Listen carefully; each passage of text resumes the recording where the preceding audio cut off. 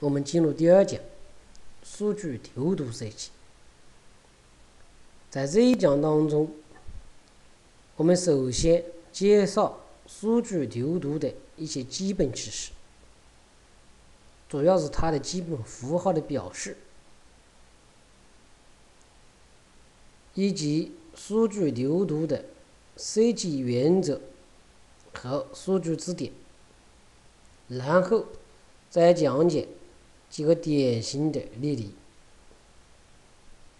我们首先看数据流图的基本符号。那么，所谓数据流图，通常简称为 DFD。DFD，第一个 D 是数据 （data），F 是流 （flow）。D 第二个 D 是图形，diagram，所以 DFD 它是描述数据处理过程的一种图形工具。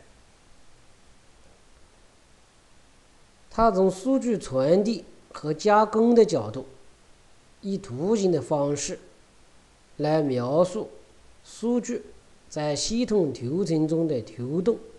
和处理的移动变换过程，反映的是数据的流向、自然的逻辑过程和必要的逻辑数据存储。在数据流图当中，通常采用四种基本的图形符号。也就是说，任何的数据流图当中，都只能是这四种符号，也必须要包含这四种符号，缺一不可。第一个原型表示加工，也就处理的过程，在这个原型当中就注明加工的名字。或者是编号，但是我们登录，那么这里几个登录，就是加工的名字，当然也可以用编号，用一二三这样来表示。箭头表示数据流，一般的情况下，在箭头的左边这个上面这里写数据流的名称。所以我们要注意的是，这里指称的是数据流，而不是控制流，不是一些控制信息。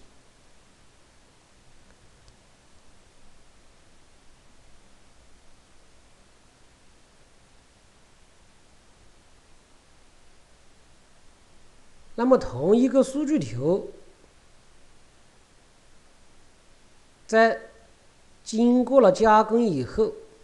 可能有不同的输出结果。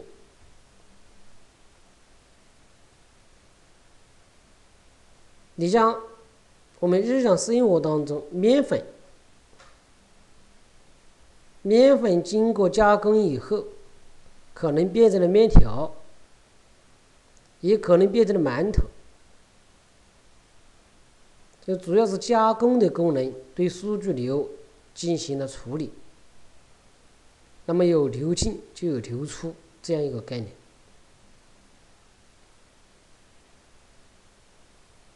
在同一个数据流图上，不能有同名的数据流。如果有两个以上的数据流指向一个加工，或者是从一个加工当中输出两个以上的数据流。那么，这些数据流之间往往存在一定的关系。像这些关系是这样一种表示：这是流入，A 是流入，B 和 C 是流出。那么这样一这个原型就是加工了。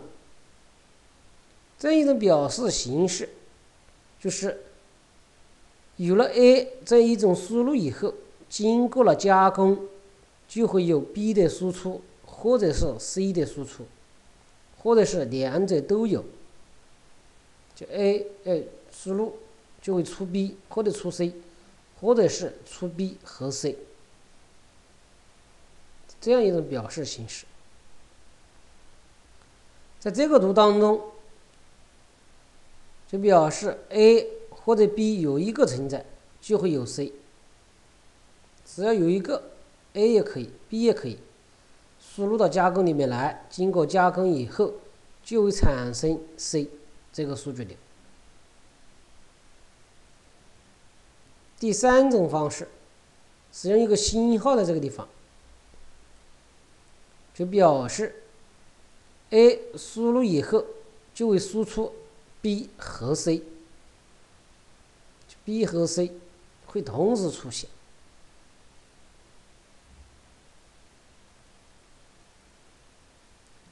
而如果用这个符号表示的话，这是一个一和的符号，就表示 A 输进来以后可能有 B，可能有 C，但是不能同时有 B 和 C。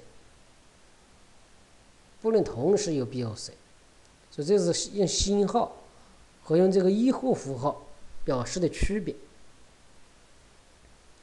同时，如果这个星号放在左边的话，表示 A 与 B 同时存在的时候才会有 C，这表示与。所以这是在同一个数据流图上的同一个加工而言，它的输入与输出数据流之间的一个关系的表示。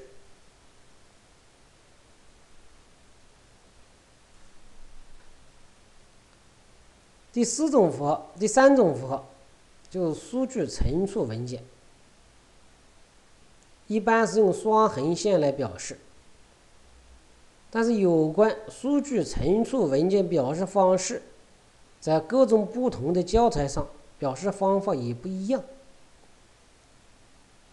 有用这两个横线表示的，也有用这个半框形表示的，或者这种半框形表示的。但基本上不会缺少这两个横线，也就这两个横线。这种箭头表示存进来或者取出去。有一个读和写的过程，一般把文件名是写在这中间，写这个中间，或者这样的形式的话，就写在这里面。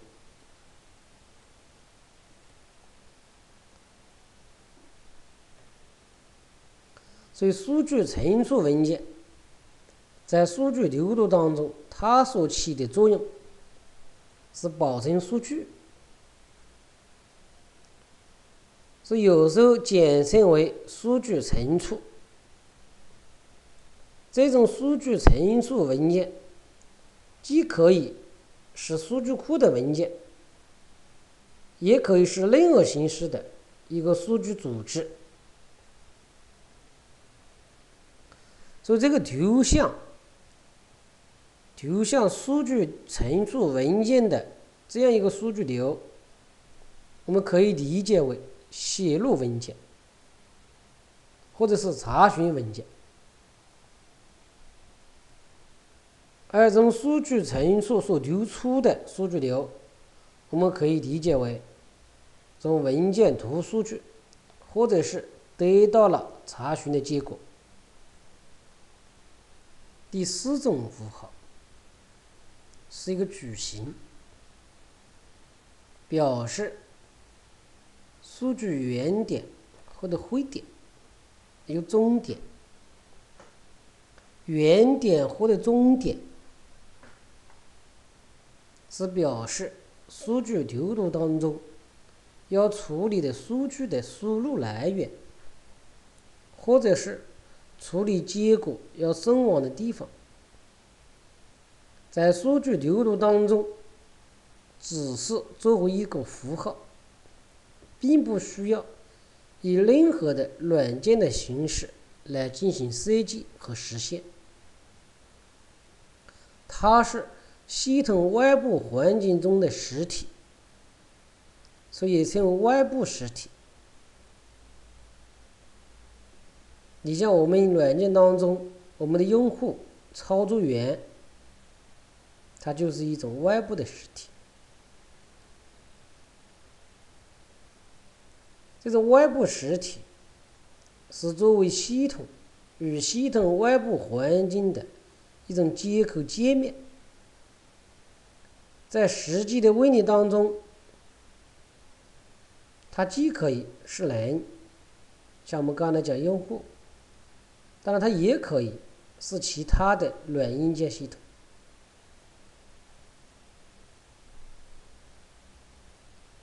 所以要在这个方框当中写的名字来表示是外部实体的名字。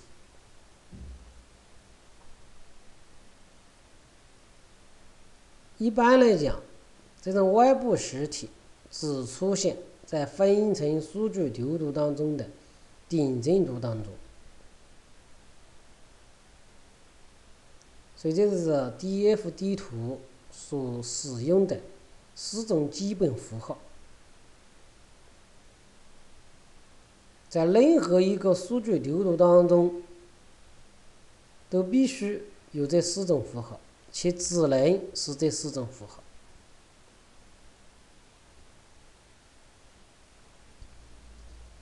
啊，我们先看一个数据流图的例子，这样会对后面的讲解有所好处。所以这是一个简单的数据流图，这是加工。刚才我们讲了，用原型表示，添加房屋是加工的名词，也可以用标号来表示，比如一。这主要是用于分层的数据流图。下面这个一，那么后面对这个加工进行分解的，就是一点一、一点二、一点三；而对这个二进行分解的，就是二点一、二点二、二点三、二点四这样子。就是这样一种符号的标记。然后这是都是箭头表示的，都是数据流。这是数据流的名称，添加新的房屋。然后这是两横表示的，是一个数据存储文件，啊，这种网储文件。因为这不是一个顶层数据流图，所以在这里面没有出现外部的实体。假设有外部实体的话，那么我可以放在这个地方，是个矩形，更新房屋信息。假设我这是管理员，是吧？这是一个人，管理员在这里来更新房屋的信息。所以这是一个基本的数据流图的情况。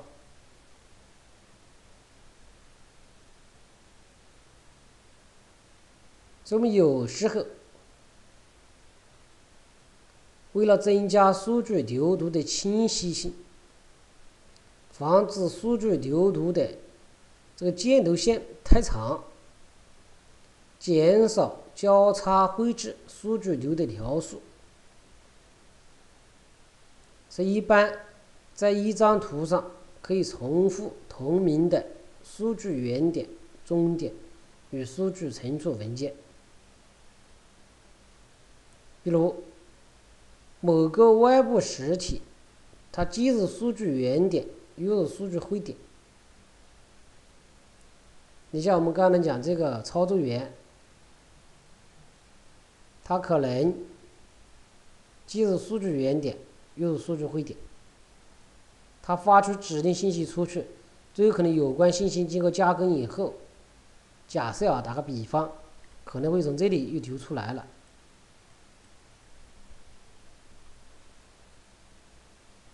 就这样的话。它就可以在数据流图的不同的地方来进行重复的绘制。为什么呢？像我们刚才我从这里流出来的话，因为这两条线不交叉，我就可以画到这个地方了。而如果我要从这里流出来怎么办呢？我要从身份验证这里，我要流出到这里来。那么，如果把这个线这样画过来的话，就会有其他的线，甚至加工进行交叉，所以我们不这么做，而在这里面再画一个这样的外部实体，假设这样子，那么我从这里流出来。从整个系统来看，这一个外部实体和左边的这个外部实体是同一个实体。同一个实体做两个来画的目的，刚才讲了，主要的防止这样一些间线的交叉的情况。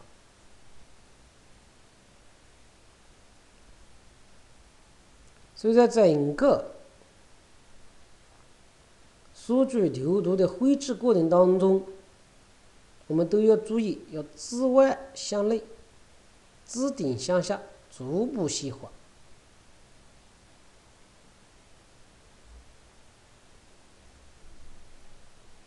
所以，为了表达比较复杂的问题的数据流图处理的话，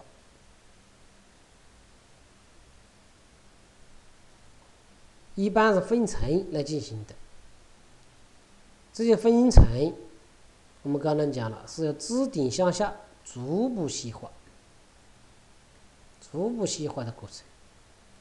先是顶层，然后一层、二层、三层，一直往下分。所以在整个软件设计的过程当中，始终的一个结构化的原则，由自顶向下逐步求清。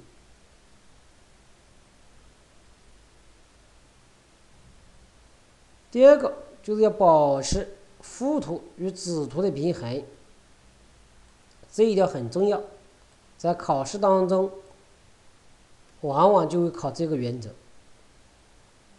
这是什么概念呢？因为我们刚才讲了，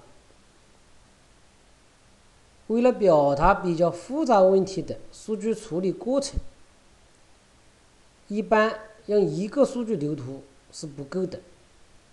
应该要对问题进行自顶向下逐步求清、逐步分解，这样就以分层的数据流图来反映这种结构关系。根据层次关系，一般是将数据流图分为顶层数据流图、中间数据流图和底层数据流图。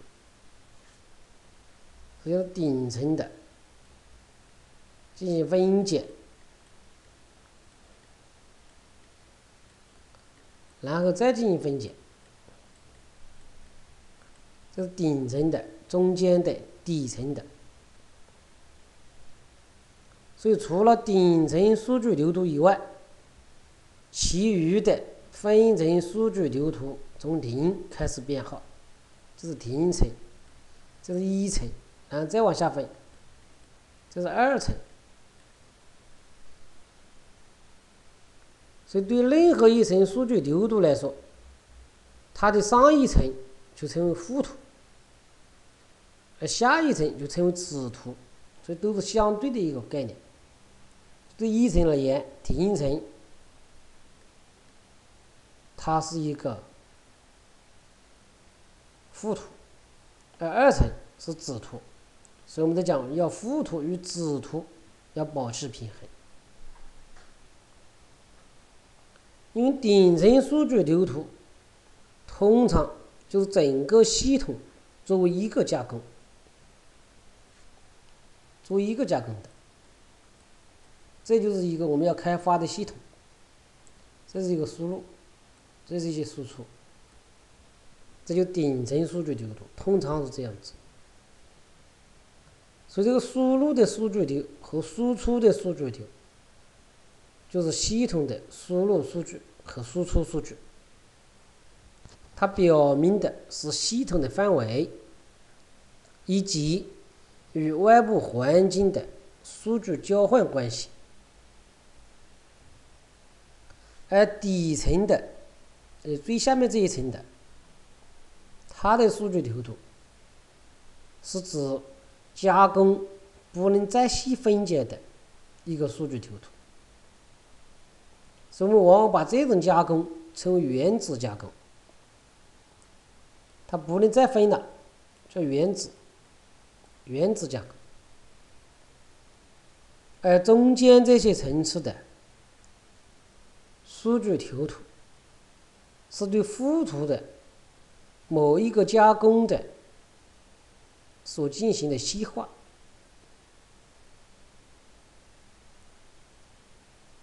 所以它的某一个加工也可以再次细化，所以子图再有子图。那么这中间层次究竟有多少层呢？就要根据系统的复杂程度而言。所以不管有多少层，任何一个数据流的子图必须与它的上一层附图的某个加工进行对应。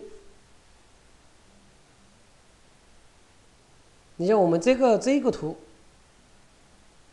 这一层一层图，那么它所对应的是定性图的第一个加工，那么这就一点一、一点二、一点三，是这样一次一种编号的形式。所以子图与附图的输入数据流和输出数据流必须要保持一致，这就是子图与附图的平衡。所以，附图与子图的平衡是数据流图当中的一个重要的性质，也是经常要考察的一个原则。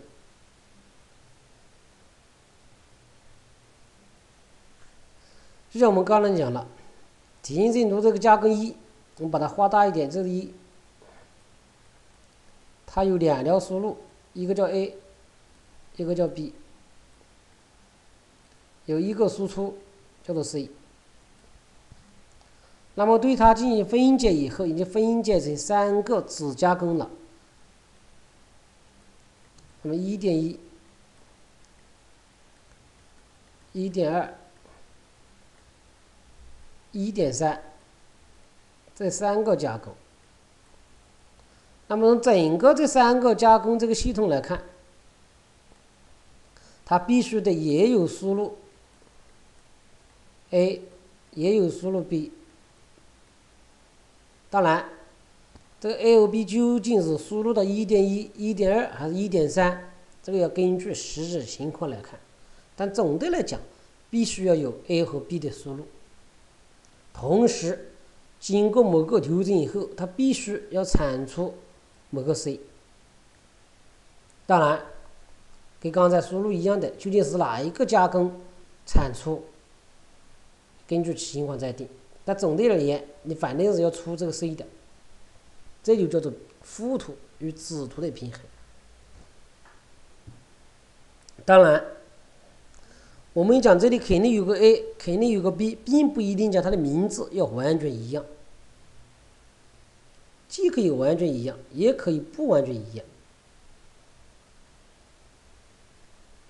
你假如说这个 A。可以分解为 A 一、A 二、A 三三个部分。那么我在这里，我就可以输入 A 一，这里输入 A 二，然后再输入 A 三，可以分为三个部分。但是整个 A 一、A 二、A 三组合起来还是 A。所以讲这种平衡不是讲完全相同，不是讲完全相同。但总的组合起来应该是相同的，也就是说，要根据数据字典的情况，看在数据字典当中，这个 A 一、A 二、A 三这三个数据流的组合或者合并，是不是就是 A？如果是的话，它还是相等的。所以，我们再看这个例子。对于第四个加工，它到了子图以后，分成了三个：四点一、四点二和四点三。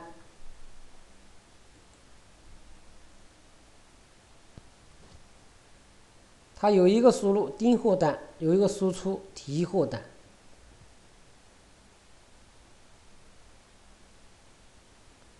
然后到了子图以后，对整个子图而言，有三个输入：数量、账号、客户，有一个输出订货单，呃，提货单。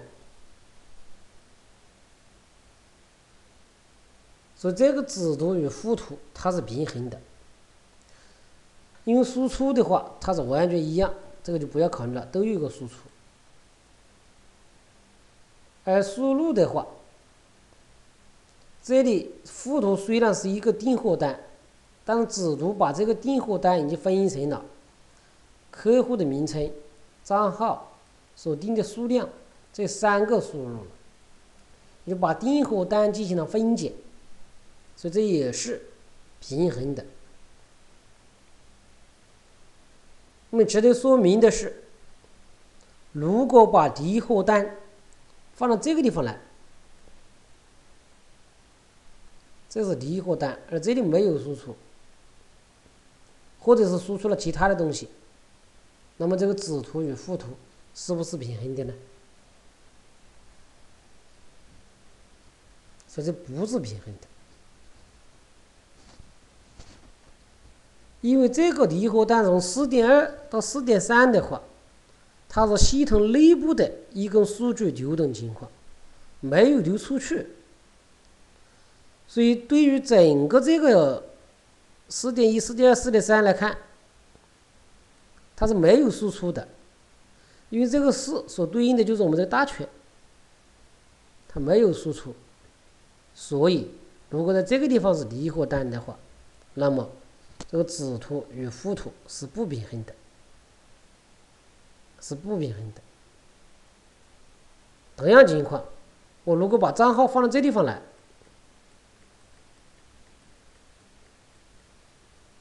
哎，这里没有输入账号。假设订货单就等于客户加上账号再加数量，那么这样一来，它也是不平衡的。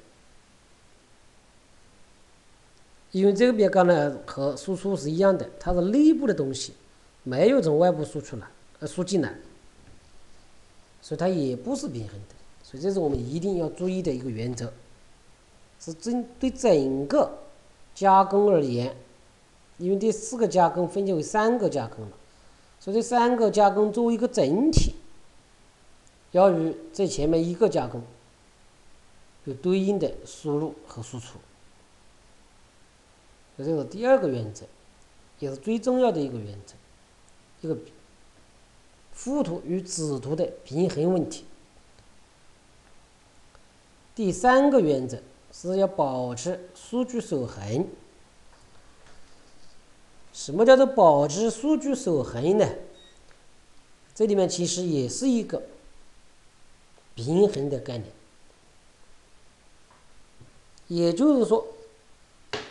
一个加工所有的输出数据流当中的数据，必须能够从加工的输入数据流当中直接获得，是个什么概念？我们在这个加工，这里有个输出了，这个输出哪来的呢？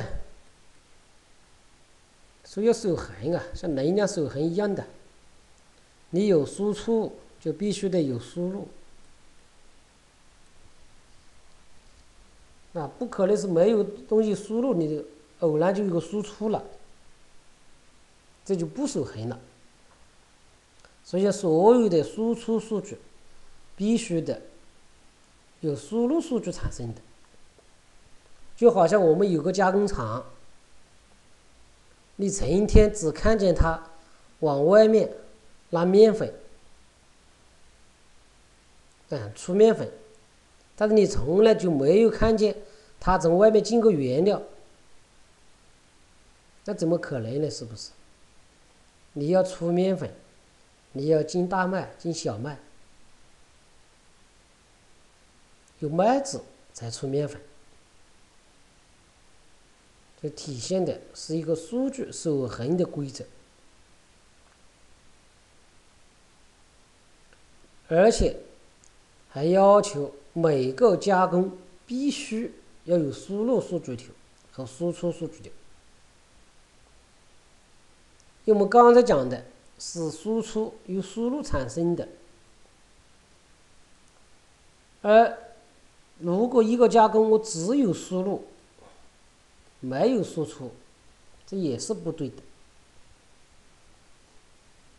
这样的话，这个数据输进来以后怎么被你吃掉了？就没有了。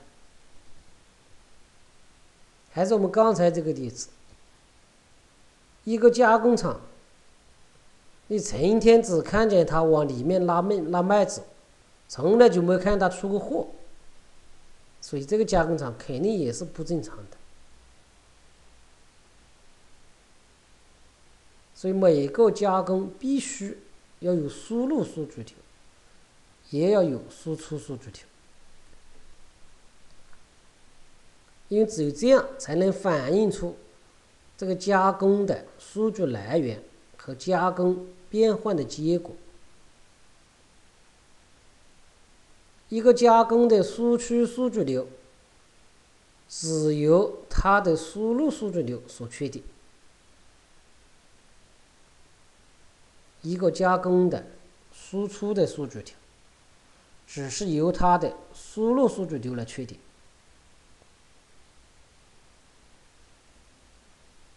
还是我们刚才这个例子，我这个加工厂，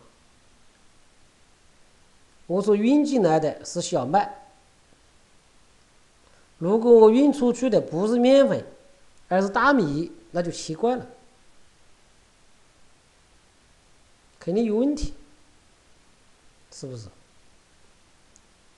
所以讲，你输进来的是小麦的话，你输出去的肯定是与这小麦有关的东西，或者是面粉，或者是面条，或者是馒头都可以，但不能出大米。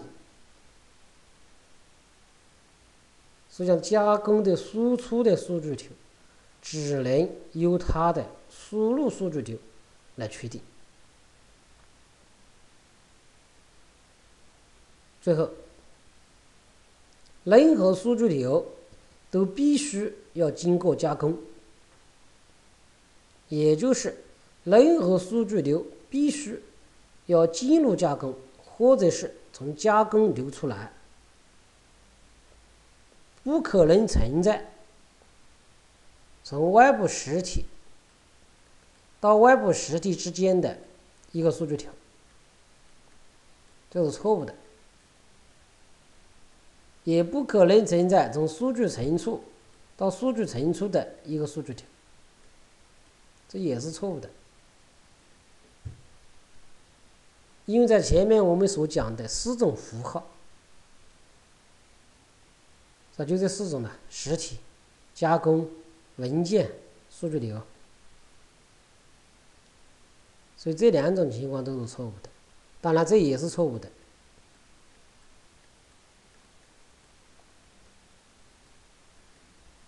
或者是这种情况，都是错误的。所以我们前面讲了，在数据流读考试当中，要能指出哪些数据流是错误的，那么我们就要记住了。如果某个数据流没有经过加工，单独是在外部实体之间、文件之间。或者文件与实体之间的这些数据流都是错误的，这都违反了数据守恒的一个原则。第四个就是有关加工的细节隐蔽问题，有软件设计的一个基本原则。我们应该知道，这个隐蔽性原则，或者抽象性原则。那么在画附图的时候，就只需要画出加工和加工之间的关系，没有必要画出各个加工内部的细节。当某种数据流图当中的数据存储。不是复读当中相应加工的外部接口，而只是本图当中某些加工之间的数据接口的时候，那么这些数据存储就局部的数据存储。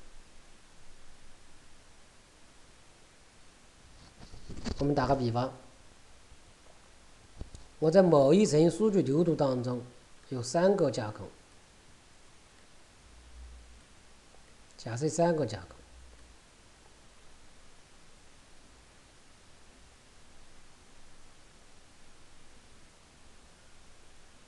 那么，如果这里面有一个文件，我假设第二个加工，这是第三个加工，从这里取了数据，经过加工以后传给了第三个，那第三个加工完了后又存进来了，假设是这种情况，那么这一个数据文件。对整个外面系统来看的话，是不可见的，因为它不是整个系统的一个输出，也不是整个系统一个输入，而是它局部的一个东西。所以把这个数据存储叫做局部的数据存储。所以为了强调局部数据存储的一个隐蔽性，所以一般情况下，局部数据存储。只有作为某些加工的数据接口，或者是某个特定加工的输入和输出的时候，才画出来，否则就不要画出来。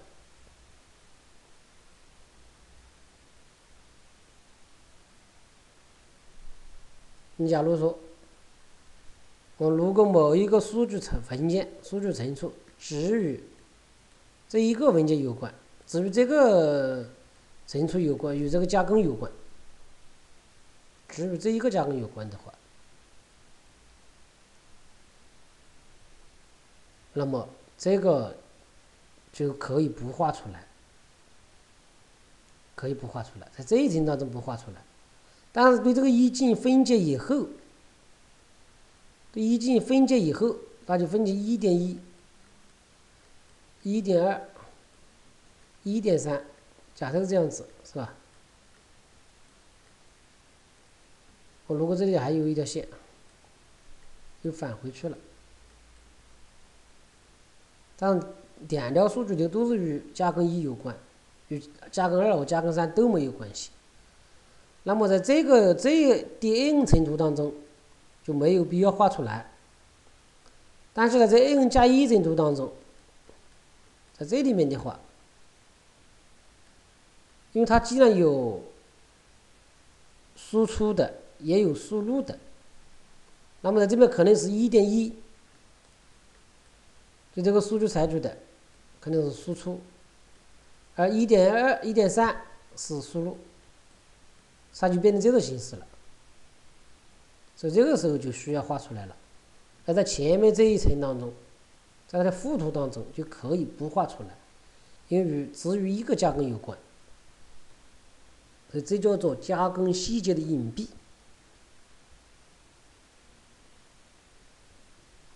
第五个原则是要简化加工之间的关系。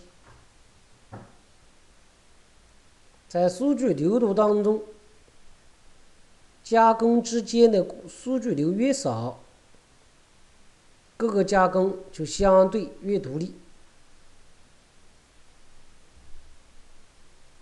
那么我们为什么要简化它们之间的关系呢？因为按照软件设计的原则，这一个基本原则是什么？叫高内聚，低耦合。因为你两个加工之间数据流越多，那么这两个加工它的关系就越复杂。而最后在软件实现的时候，一个加工可能就是一个模块。那么你两个加工之间的数据流很多，那么它的关系就很复杂，耦合性就很高。所以这是有违软件设计的基本原则的。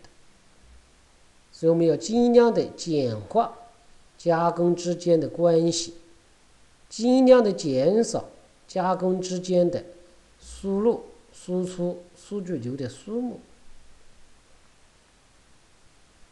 第六个原则是均匀的分解，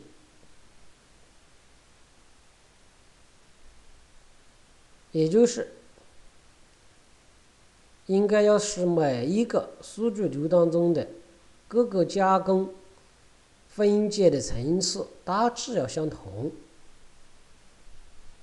你假如说我们这三个加工，如果第一个加工还可以分五层。呃，第二、第三个加工还可以分一十八层，那么这不叫均匀分解了。那么就应该对第三个加工的这里面再继续分，把它分细一些，因为它可能太大，所以分四个加工是这样子，要均匀的分解，使每一个加工的分解层次要大致的相同。第七个原则，可以适当的为数据流加工文件或者是外部实体命名，这个名字应该要反映这个成分的实质含义，要避免一些空洞的名字，也就从名字就可以直接知道它的含义。就像我们前面所讲的加工厂。那么这里是小麦，这里是面粉，啊，取这种实在的名词。第八个原则就是要忽略一些字节问题，应该要集中精力在主要的数据流上面，可以暂时不考虑一些例外的情况、出错处理等直接性的问题。第九个方面我们要注意的，就整个数据流图当中所表示的是数据条，而不是空值条。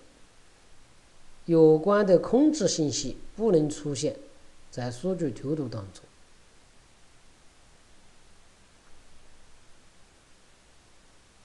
说这也是数据流图与流程图的区别。数据流图的箭头是表示数据条。而流程图，它里面的箭头表示的是空值条。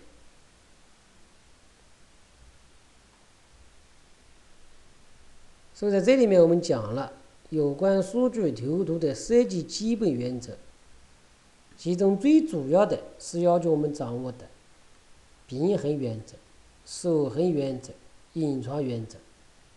考试当中经常考察的也就是这三个原则。这三个原则，像我们刚才讲了，哪些是打叉的，像这个也是打叉的，这就表示要指出哪些数据流是错误的，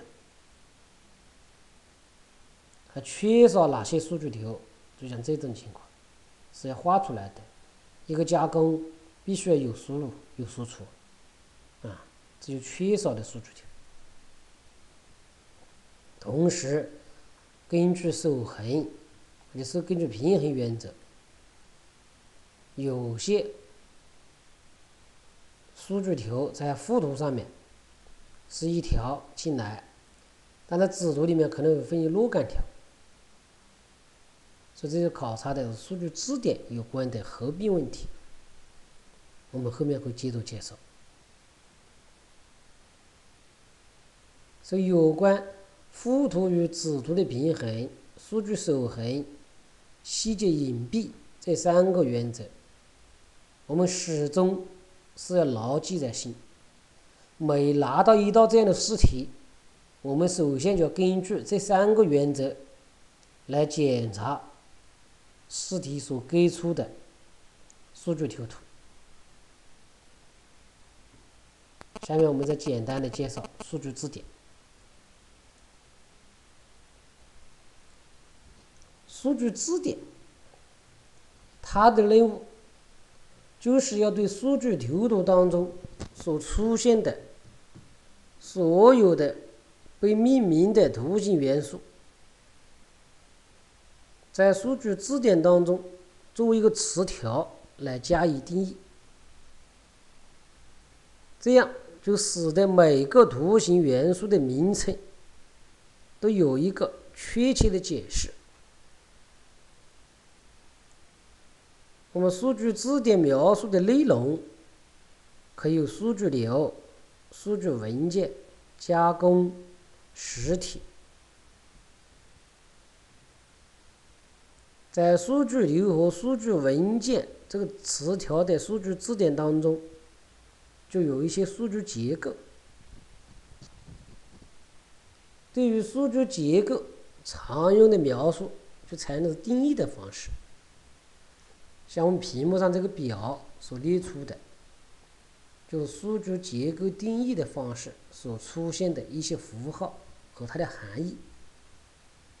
像等号就表示被定义为，就像我们前面讲的，订货单等于账号加客户名称加数量。所以这加就是与，嗯，啊，就是与，订货单等于客户名称加账号加数量，也就是说表示一张订货单是由客户名称、账号和数量这三个部分组成的。第三种符号是在中括号里面。来表示的是表示货，就有两种方式，或者是等于逗号，或者是这个就货的符号，就是 A 或者 B。你讲讲这个存款的依据，就等于存折或者是存单。对吧？既可以是存折，也可以是存单，那么就可以表示这种形式。而花括弧表示的是重复，就是某一个数据词条当中可能有若干个同样的东西组成。那所谓若干个，既可以是零个，也可以是多个，所以用花括弧表示。假设我们学号，学号就等于什么呢？因为一般我们的学号都是数字，是吧？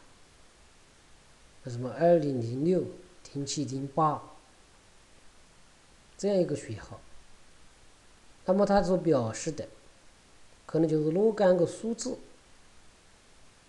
这些数字可能是零到九这样一种情况。所以它是数字的一个重复，然后括号表示可选的，就表示这个元素 a 在 x 当中既可以出现，也可以不出现。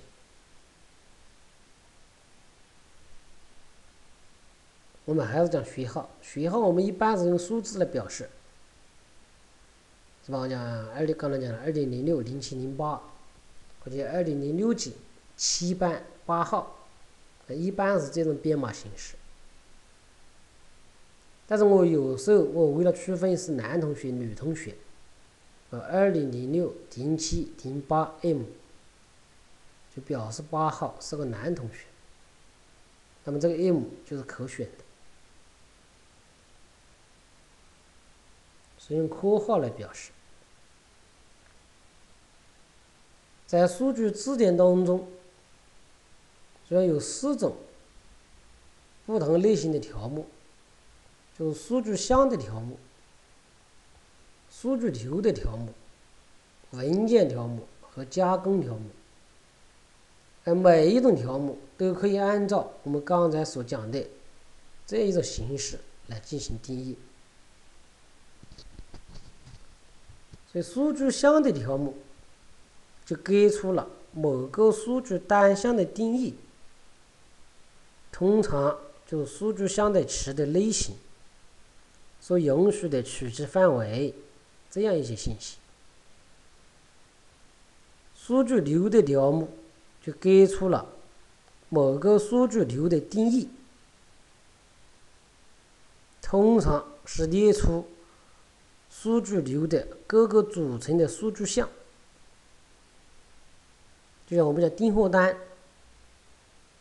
这个数据流它有三个数据项，有客户名称、账号和数量，呃，三个数据项。而账号这个数据项，它是一个字符型，它允许取值范围可能是一号到一百号。这就是数据项的条目，先是数据流条，对数据流所组成的数据项再来进行定义。第三种条目是文件条目，这个文件条目所给出的是某个文件的定义，它通常也是列出。文件记录的组成数据项。你假如说我是这个订货单文件，就所有的订货单所组成的文件，那么它可能就会表示有订货单号、订货单的客户名称、订货单的数量这一些信息。它也是一些数据项所组成的，当然，它也可以指出文件的组织形式。你像我们订货单的文件，那么我可以按订货单的单号的顺序来进行排列，这样一种特殊的信息，也可以包含在文件条目当中。最后是加工条目。这加工条目就是对数据流入当中每一个原子加工的精确说明，要说明这个加工是做什么的，就包括激发条件、优先级、所执行的频率、出错的处理等等这样一些信息。那么常用的加工逻辑描述就结构化的语言。有判定表、判定数这样一些信息，所以有关这些数据字典的详细情况，我们在上午的软件工程这一讲当中就进行了详细的介绍。所以在这里面，我们只是为了后面的列例讲解的需要，又进行了简单的回顾。所以在这里没有。进行很详细的讲解，在理解了我们前面所讲解的有关数据流度设计的原则和数据字典的基本知识以后，接下来我们学习有关的典型例题，通过对这些例题的讲解，使大家掌握。数据流图设计这一个知识点的一些基本考点和解答技巧，希望大家通过学习这些典型例题以后，能够举一反三。首先，我们看例题一，这是两千零四年十一月的试题。某图书管理系统的主要功能是图书管理和信息查询。对于初次借书的读者，系统自动生成读者号，并与读者基本信息一起写入读者文件。所以，读者基本信息就包括姓名、单位、地址。系统的图书管理功能分为四个方面：购入新书、读者借书读者还书以及读书注销。下面是对四个功能的描述。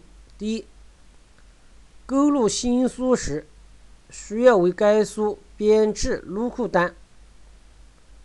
入库单的内容就包括图书分类目录号、书名、作者、价格、数量和购书的日期。将这些信息写入图书目录文件，并修改文件中的库存总量。所以，库存总量，它是表示到目前为止购入此种图书的数量。第二是读者借书，读者借书时需填写借书单。借书单的内容就包括读者号和所借图书分类目录号。系统首先检查该读者号是否有效，若无效，则拒绝借书；若有效，则进一步检查该读者已借读书是否超过最大限制数。又假设每位读者能同时借阅的书不超过五本，若已达到最大的限制数，则拒绝借书；否则允许借书。同时，将图书分类目录号、读者号和借阅日期等信息写入借书文件中。第三是读者还书。读者还书的时候，需要填写还书单。系统根据读者号和图书分类目录号，从借书文件中读出与该图书相关的借阅标记，标明还书日期，再写回到借书文件中。如果图书逾期，则处以相应的罚款。第四是图书的注销。注销图书时，需填写注销单，并修改图书目录文件中的库存总量。系统的信息查询功能主要就包括读者信息查询和读书信息查询。其中读者信息查询可得到读者的基本信息及读者借阅读书的情况；读书信息查询可得到读书基本信息和读书的借出情况。那么这样一来，根据这些描述，整个图书管理系统的顶层图就像我们下面的图。顶层图是第二个图，那么加根二是第三个图，就是顶层图。这是顶层图，这是一层图，是二的这个加工，二加工的一个分解，分解二点一和二点二。所以在顶层图当中，我们前面讲了。通常只有一个加工，就是这个系统本身，就图书管理系统。啊，这有系统时钟，是吧？矩形表示是外部的实体。那么在这个系统当中，有系统时钟，有读者，有图书管理员，这样一些外部实体。然后箭头，这都是工作流。就对图书管理系统而言，管理工作请求单、查询请求信息、读者信息、当前日期，这都是输入。呃，输出有罚款单，有读书的情况，有读者的情况，有非法请求信息。在顶层图当中，有三个加工，分别是处处理管理请求。处理查询请求登记读者信息。然后第二个加工处理查询请求又分为两个子加工，分别是二点一读者信息查询和图书信息查询。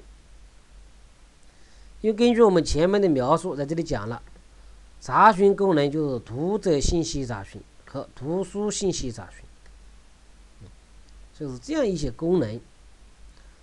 那么根据这个描述以后，你就画出了这三个图。那么我们看下面的问题是什么？第一个问题，数据流度二中有两条数据流是错误的。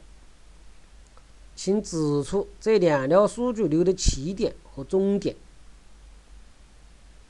第二个问题，数据流度三中缺少三条数据流，请指出这三条数据流的起点和终点。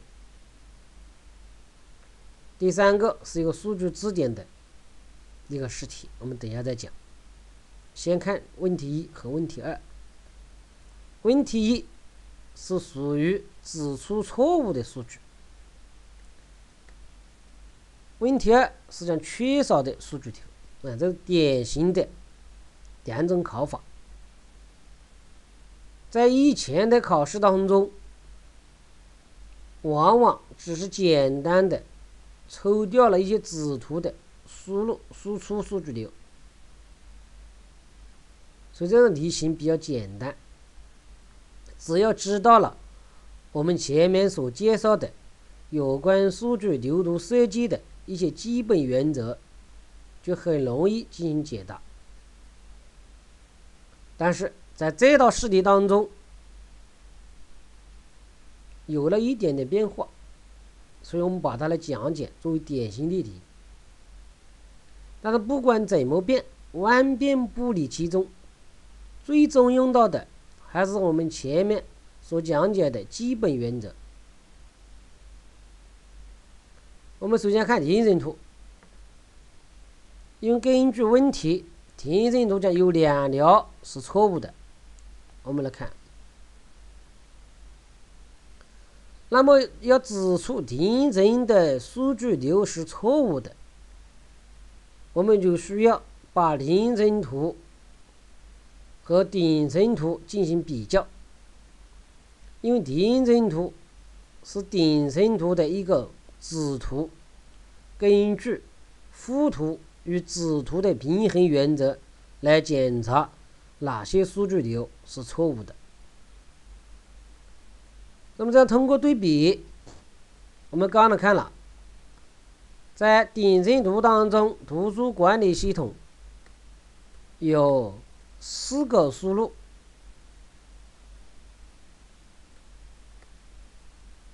输出有一个、两个、三个、四个输出。那么我们一个一个来看，首先是管理工作请求单，在这里管理工作请求单作为一个输入，输出到输入到第一个加工里面来了，所以这是有。查询请求信息，查询请求信息是作为第二个加工的一个输入数据流。有读者信息，读者信息是作为第三个加工的一个输入，这是有。然后当前日期，当前日期是由系统时钟输进来的。在这里面也是作为第一个加工的一个输入当前日期，所以顶层图的四个输入在顶层图当中都得到了体现。下面我们看输出读书情况，读书情况，读书情况是作为加工二的一个输出。有读者情况也是加工二的一个输出，因为加工二是处理查询请求的，而查询请求就包括读者信息和图书信息，就这两件都有。嗯，这种输出我们还是用这个叉号来表示。还有一个输出就是罚款单，在这里有罚款单。还有一个输出非法请求信息，非法请求信息。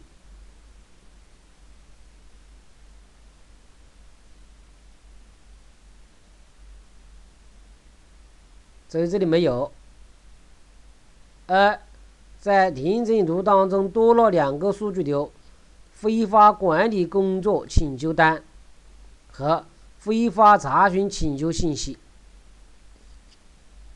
这就是订正图跟订正图不相同的两个数据流。也就是说，在订正图当中，非法请求信息丢掉了，而多余了另外两条请求信息。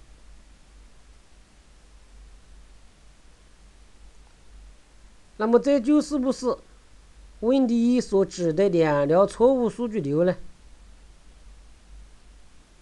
我们现在还不能确定，因根据我们前面所讲的原则，在副图当中一条数据流可能分解为子图当中的若干条子数据流，是吧？A 它可能分为 A 一、A 二、A 三，A 一、A 二、A 三组合成 A 这样一个数据流，我们前面。是举了这样一个例子，所以我们现在找出的问题就是顶层图少了一条了，哎，再多了两条，吧？少一条多两条，现在就是来核对究竟是不是这个错误。从流程上来看，缺少的是非法请求信息，而多余的都是非法的，也都是请求信息、请求单嘛。和请求信息是类似的，所以它都应该属于非法请求信息。所以从这样来看的话，那么就有可能非法管理工作请求单和非法查询请求信息，它应该都属于非法请求信息，所以可以把它合并成点阵图当中的。非法请求信息，所以这个不是问题。那么我们就看还有什么问题。现在剩下的就是在这里有一个读者文件，是吧？与读者文件相关的还有两个数据留在这里。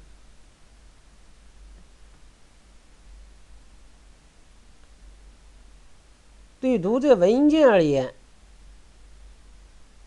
这个处理查询请求，这个加工是对它进行写，而登记读者信息是对它进行读取信息。处理查询请求，它应该要完成的功能，就是查询出读书情况和读者情况。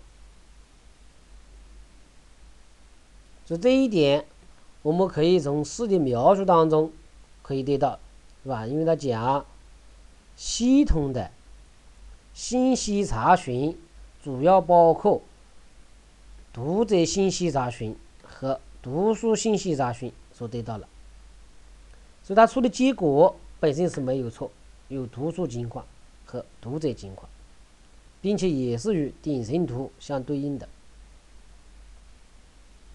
那么在查询过程当中，根据用户的查询请求信息，他要查，假设要查《系统分析师技术指南》这本书的信息，那么就会输进来《系统分析师技术指南》，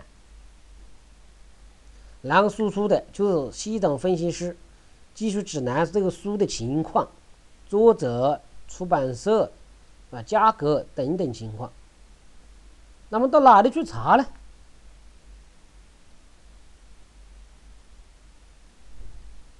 所以在这里面没有输入，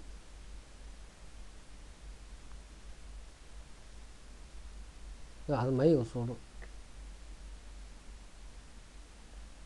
呃，所以讲对于读者文件而言，它所节约的一些信息，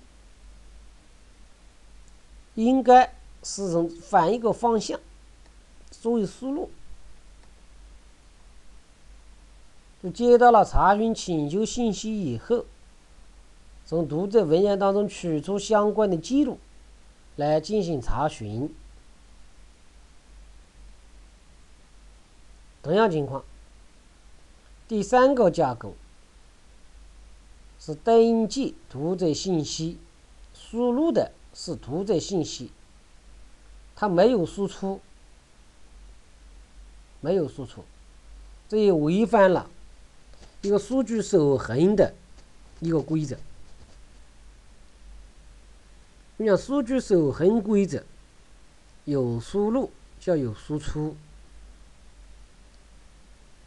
因为我们前面打了个很简单的比方，这是一个加工厂，是吧？这里面是这个面粉，老是进面粉就没看到出过面条，这是不对的，所以它有输入。经过加工以后，就应该还有输出。输出什么东西呢？因为在这里面，输入的是读者信息，加工的功能是登记读者信息。登记到哪去了？应该要登记到读者文件。所以这里也是反向了，应该是作为这样一种方式，是一种写。所以这个数据流就应该从第三个加工到读者文件、读者文件这样一个方向。所以，那么问题一要指出两条错误数据流它的起点和终点，那么就是这样了，就是把这两个应该反向。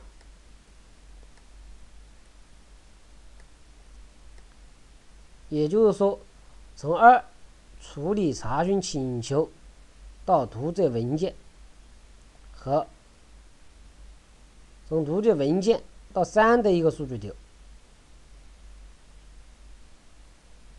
另外，我们还可以注意到，在加工二的细化图当中，其实我们也可以看到，这个数据流，你看方向就是从读者文件。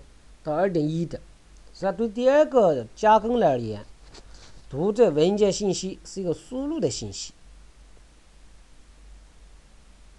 所以我们有这一条这个数据流，也可以知道，在这里面这个箭头是反向的。这是就是第一个问题，现在这个定人图当中，错误的数据条。在解答这个问题的过程当中，我们首先用的是子图与父图的平衡原则。通过进行检查，子图与父图是平衡的。虽然有一条数据流名字不同，但是因为在顶层上的或者讲的父图的数据流到了子图以后，可以进行分解，分解成两条了。这两条合并以后，还是等于父图的一条，所以总的来讲，子图与父图是平衡的。我们检查的这两个数据流，是通过分析在调整图当中对读解文件的操作，以及对于加工而言的数据守恒的一种规则来得出它的错误的。那么第二个问题是讲数据流图三当中缺少三条数据流，所以我们要看看是哪三条数据流在这里。因为第三个数据流图是对调整图的一个细二第二个加工的一个细化，把第二个加工就细化为两个，分别是读者信息查询。和读书信息查询。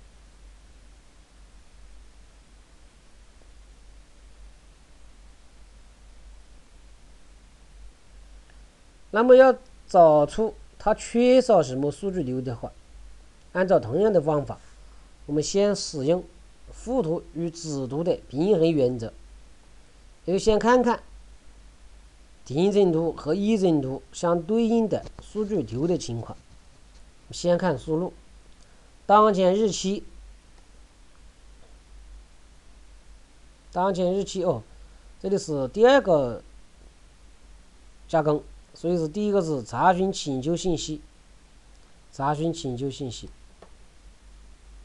这是一个输入了。而我们刚才讲读者文件这一个输入，所以在这里有读者文件这个输入，输出是有三条，读书情况。读书情况、读者情况、读者情况、非法查询请求信息。所以大家注意了，在这里面，非法查询请求信息这个数据条，到了一层图以后也进行了分解，分解为两个：非法查询读者请求信息，非法查询图书请求信息。所以这两条对应的是这一条，因此来讲的话，在零程图加工二的输入和输出的数据流，在一程图当中都有，它没缺。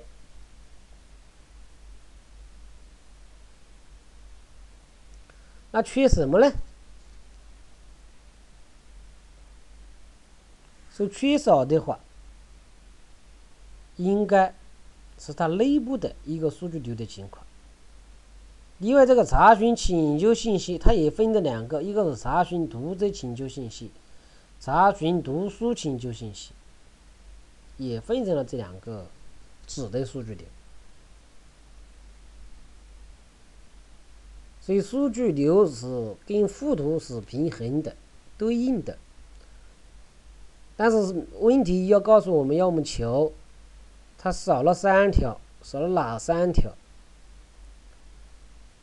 根据子图与幅图的平衡原则，那么少的这三条，肯定就是二点一和二点二之间的，或者是二点一、二点二与文件之间的。所以这里面的话，我们就要根据试题的描述来找到相应的答案。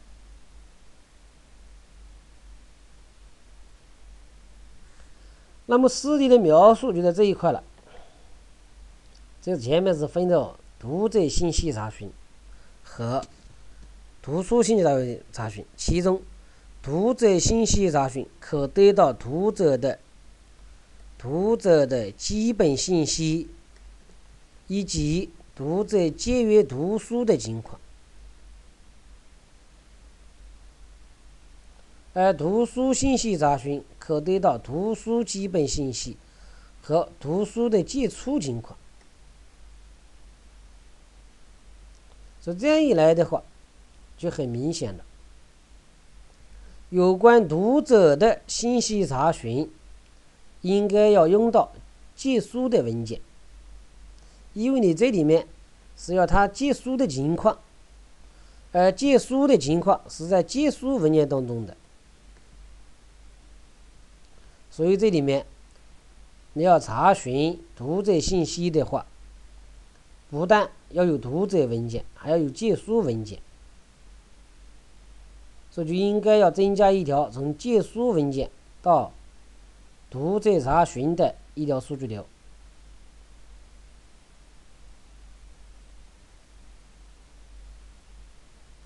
同样的情况，还要增加一条从。借书文件到读书信息查询的数据流，因读书信息查询除了图书的基本情况以外，还要有图书的借阅情况，所以它也是在借书文件当中。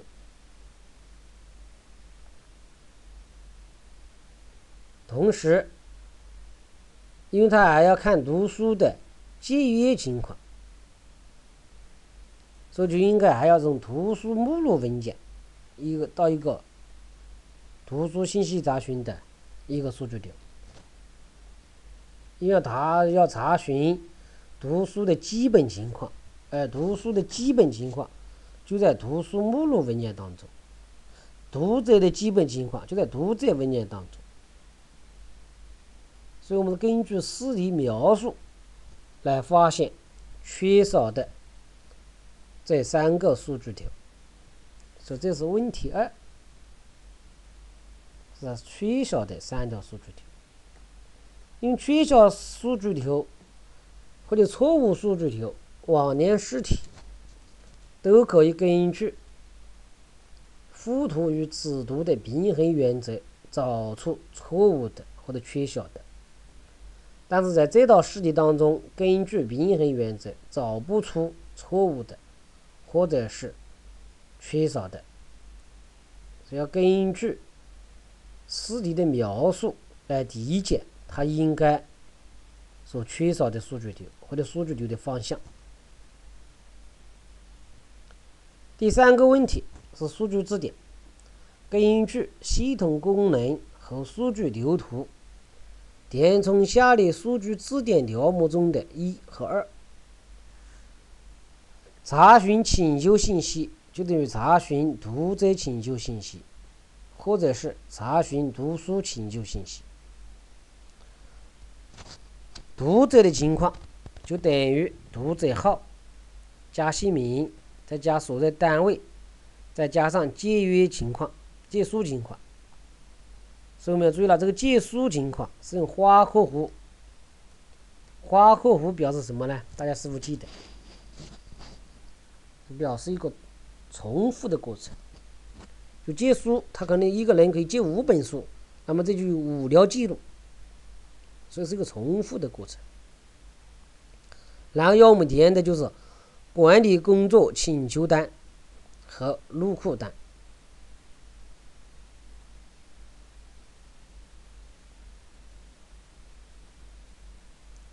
管理工作请求单，那么管理工作。有哪一些呢？这里就讲了，有四个方面：有购入新书、读者借书、读者还书、图书注销。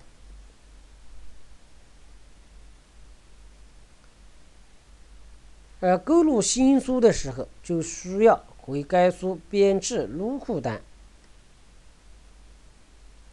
读者借书的时候，要填写借书单。读者还书的时候要填写还书单，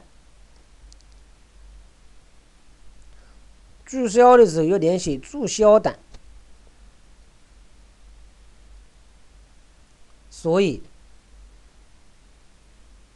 他的管理的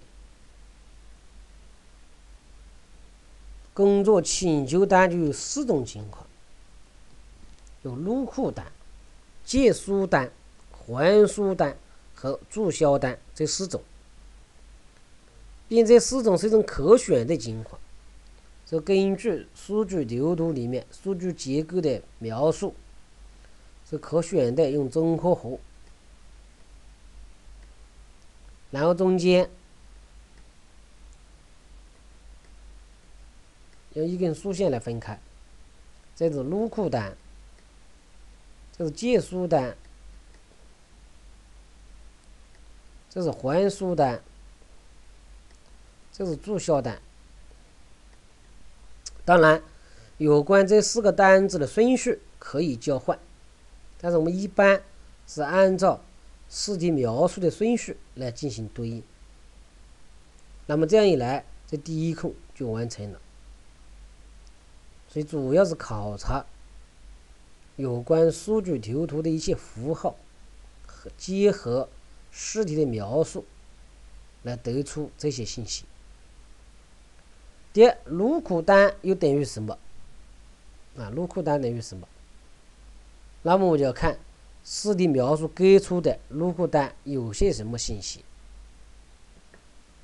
这里写了，入库单的内容就包括图书的分类目录号、书名、作者、价格、数量和购书日期，所以这写的很清楚了。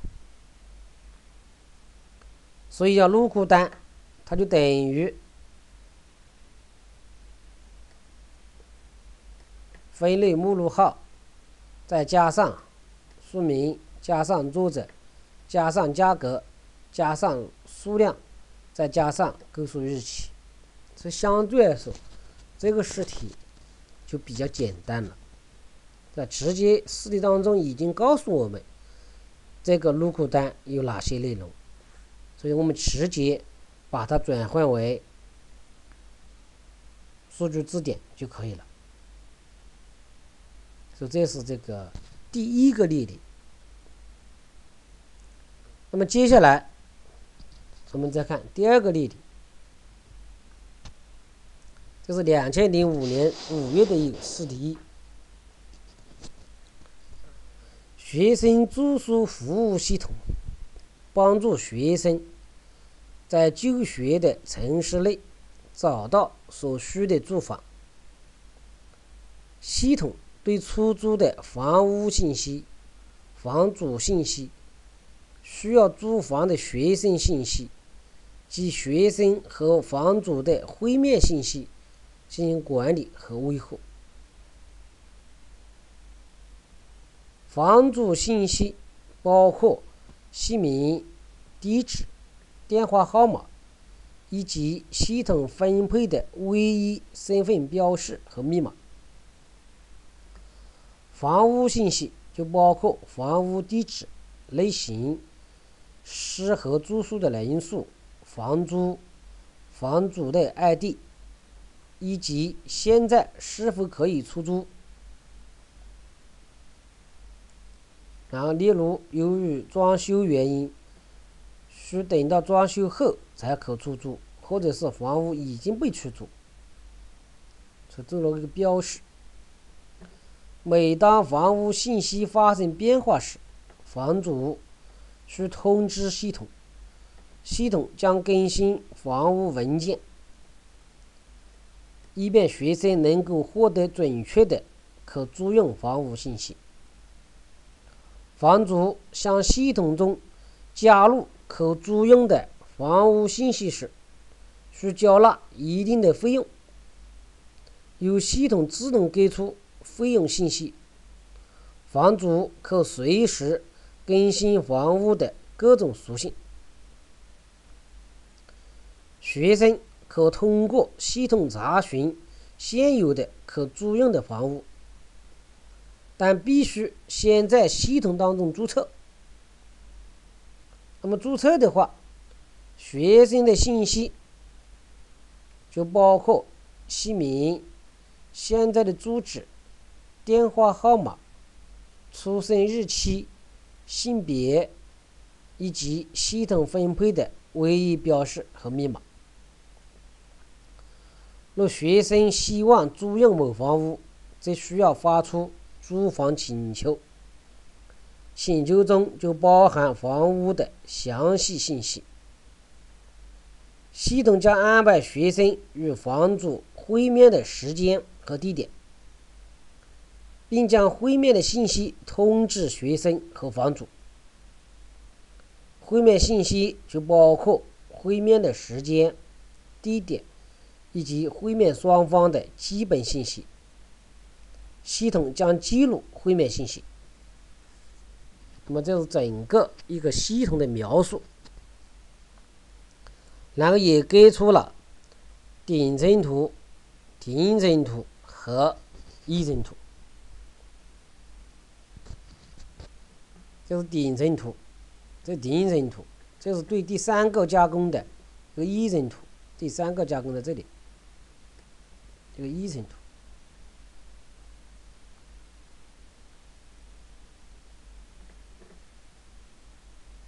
所以在顶层图当中，它是两个外部实体，一个是房主，一个是学生，中间是一个系统，学生住宿服务系统。那么我们先不急于看这三个图，先看这个试题有哪些问题。问题一：数据流度一缺少了一条数据流，缺少了一条数据流，请给出此数据流的起点和终点，并采用说明中的词汇给出此数据流的名字。数据流图二中缺少了与查询房屋加工相关的数据流，请指出数据流的起点和终点。所以，这是这一道题考察的。是小缺少两条数据条，数据流度一缺少一条，数据流度二也缺少一条。所以我们解答这样的试题，最关键的一点就是要细心，要把题目看清楚，不要丢掉任何一个条件。另外，就是要使用我们前面所讲的。附图和子图的平衡的原则，以及数据守恒的原则，在我们这道试题当中所给出的分层数据流图，描述的是一个学生住宿系统，在题目的说明部分，已经对系统的功能进行了详细的介绍。还并且介绍了房屋、房主、学生是如何进行交互的，所以这个数据流图只是把这些描述转化为直观的图形的形式而已。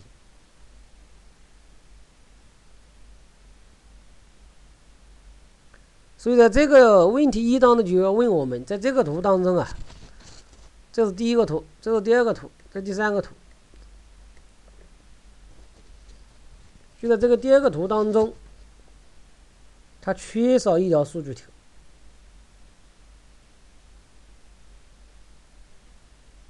并且告诉了我们，这条数据流在第一个图当中也没有画出来，在第一个图当中也没有画出来，所以这是图一。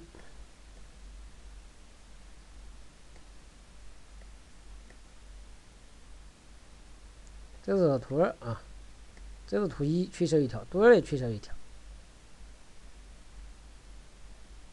在这里缺一条，这里也缺一条，所以这两个图当中都缺数据流，所以就不能使用附图与子图的平衡原则，因为你不知道哪里是缺，应该缺的，因为它都缺，不像我们前面所讲的那道试题。因为点阵数据流图它没讲缺少，所以就以点阵数据流图为标准，把点阵图和停阵图对比，然后再拿停阵图和一阵图对比。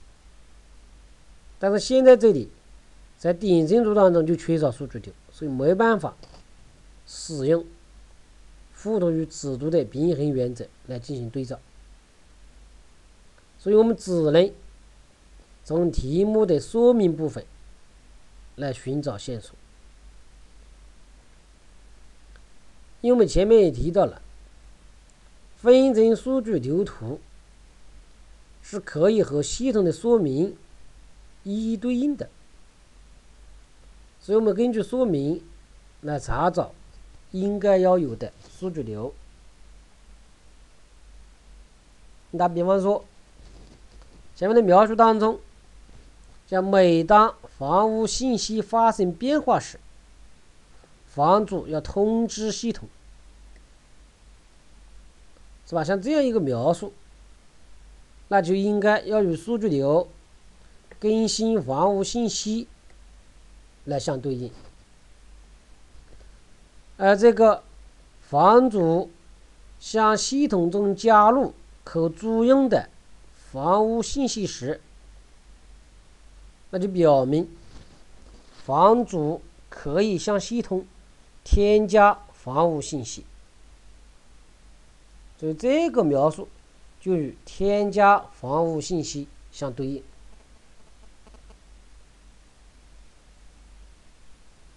那么学生信息这一块也是一样，都可以根据我们前面的描述，来一一对应的来找到他所需要的一些数据流。所以按照这种方法，我们就可以把点阵图中的每一条数据流与系统说明的描述来相对应。这样找完以后，我们就可以看到，房主向系统当中加入可租用的房屋信息时，需交纳一定的费用。由系统自动给出费用信息，所以这提到个费用信息，在我们这个图当中就没有，是吧？这里面应该按按照词的描述，应该有有学生住宿服务系统给房主的一个费用信息。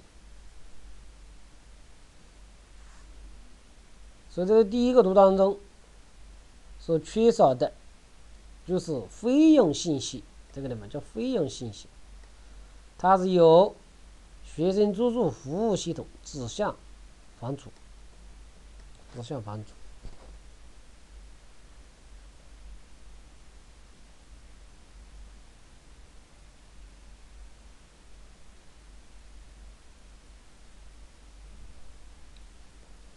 另外。有些人还认为，这个点阵图还少了一个房主的注册信息的数据流，因为在对学生而言，学生有了学生信息，而房主的他没有房主信息，因为学生和房主都要注册，都有 ID 号和密码。但是因为根据这个题目的要求，它只说少了一条数据条，所以费用信息肯定是缺少的数据条。当然，根据我们的推理，这里面这个房主的信息，它也是缺少的。其实这个题目这里还是缺少一条。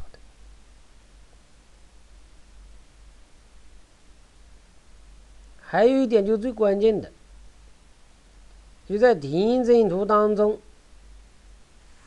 从添加房屋到房主文件到房主文件这一条双向的数据流，叫做新房主。新房主那不就要注册的嘛？你这就说明了，添加房屋这个加工，它还可以添加一个新房主。所以说，在这里个添加房屋里面，就完成了新房主的注册。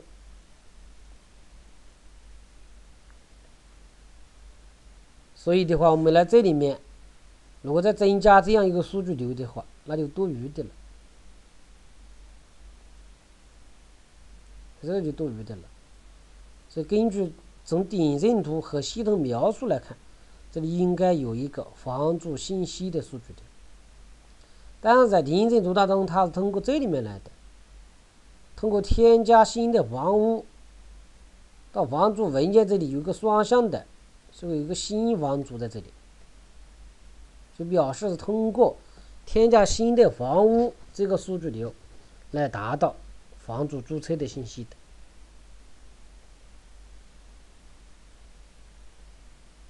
所以，总的考虑而言，就整个系统只缺少一条数据流，就是学生住宿服务系统到房主。那么问题的第二个部分，数据流二也缺少了一条数据条，并且明显的告诉我们是与查询房屋相关的。那么查询房屋在什么地方呢？在这里，就明显告诉我们与这个加工相关的一个数据条，少了。所以查询房屋信息主要是学生来查询，哪些房屋是可以租的，是吧？是这样一个情况。他的输入是学生的 ID 和查看房屋的请求。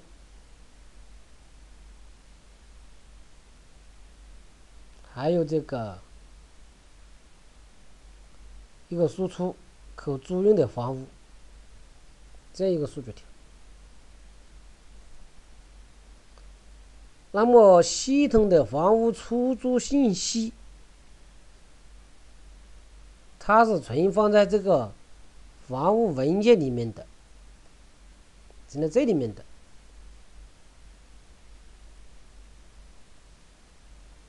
而查询房屋的加工，它只读取了学生的 ID 和学生需要查看房屋的请求，但到哪里去查呢？没有啊，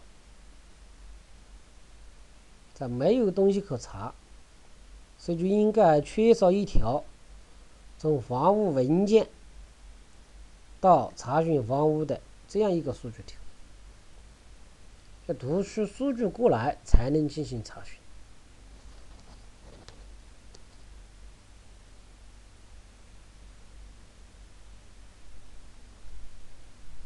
那么，另外就是看这个安排会面，根据系统描述，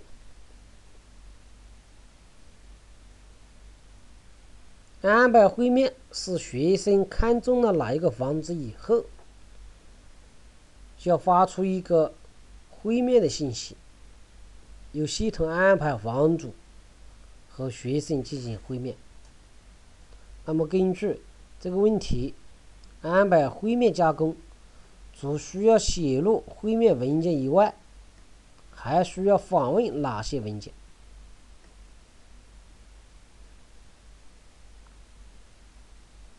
他除书写入会面文件以外，还需要访问哪一些？这是写进去的。那么就还有哪些输进来的？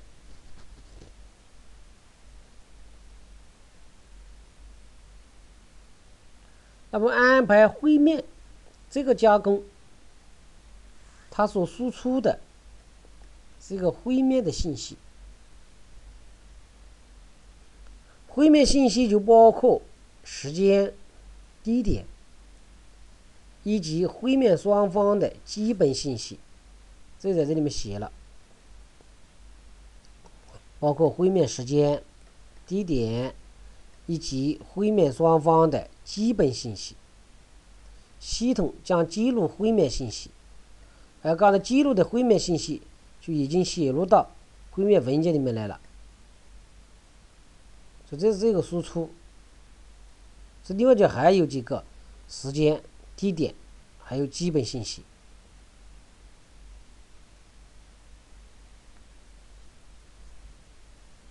那么，其中的会面时间和会面地点的话，可以根据系统的一些规则，由安排会面这个加工自动生成。但是，双方的基本信息它是不能自动生成的，所以应该要从有关文件当中取出这些信息。而房主的信息是在房主文件当中。学生的信息是在学生文件当中，所以需要调出这些信息的话，安排会面这个加工就必须要读取这两个文件的数据。所以也就是说，安排会面还要访问房主文件和学生文件，从它里面有数据进来。是这种情况。那么最后一个题目也是数据字典，要补齐登录信息等于学生 ID 加上密码。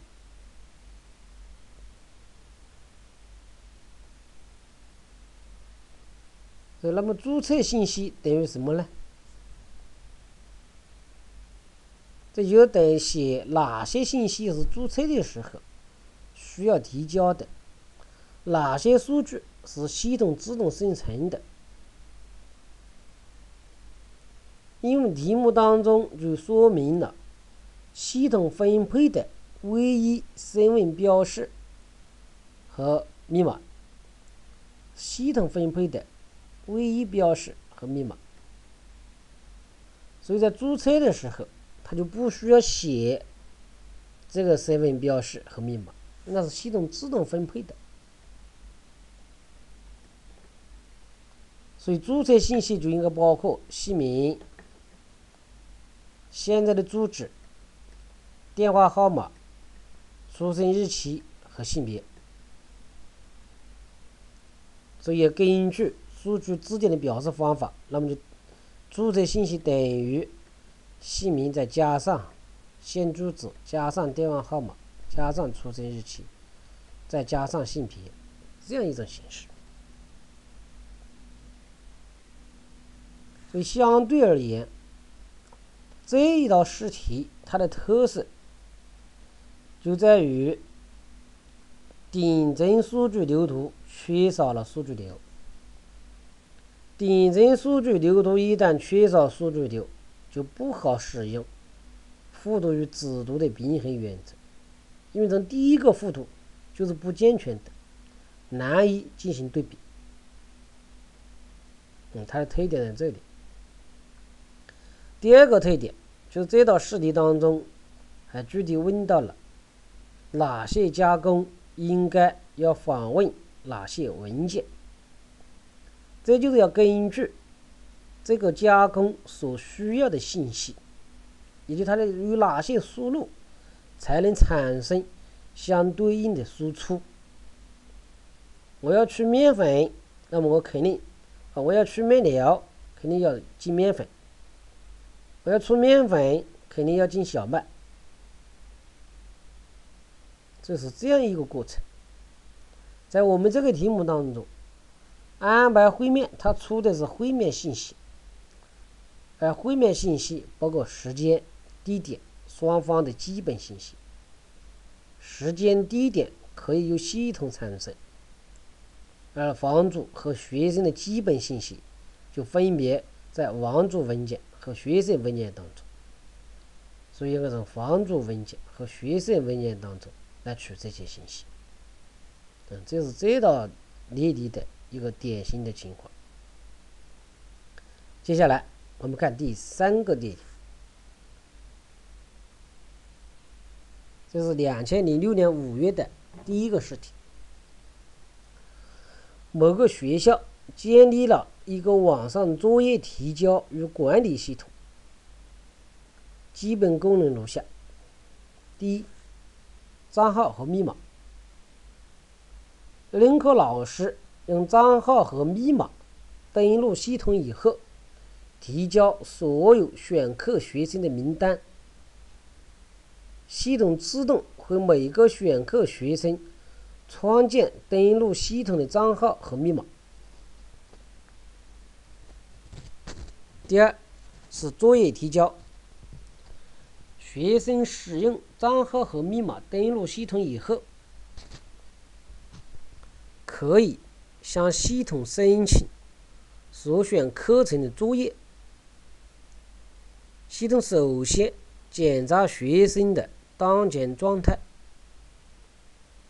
如果该学生还没有做过作业，这种数据库服务器。申请一份作业，若申请成功，则显示需要完成的作业。学生需在线完成作业，单击提交按钮上交作业。第三是在线批阅，系统自动在线批改作业，显示作业成绩。并将该成绩记录在作业成绩统计文件中。这是试题的描述。然后是有关问题。第一个问题：如果将数据库服务器，就 DB 作为一个外部实体，那么在绘制该系统的数据流图的时候，还应该有哪些外部实体和数据存储？嗯，这个试题也是往年当中没有的一个题目，所以我们把它选为典型例题来进行讲解。就问有哪一些外部实体和数据存储？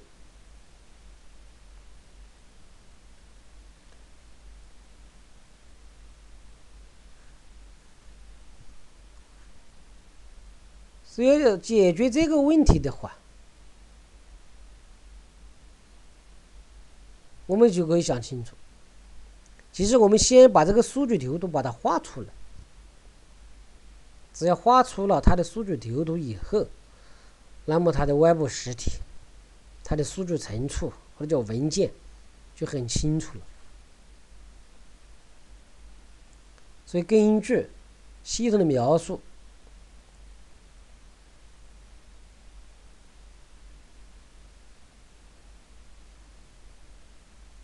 我们可以画出它的顶层数据流图，一个是老师，一个是学生，然后就是网上作业提交与管理系统。因为根据系统描述，就告诉我们，老师可以填写选课的学生名单，根据账号和密码进行登录。而学生根据账号和密码来进行网上作业。那初步来讲的话，就是这样一种情况。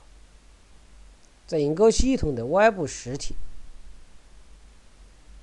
是老师和学生。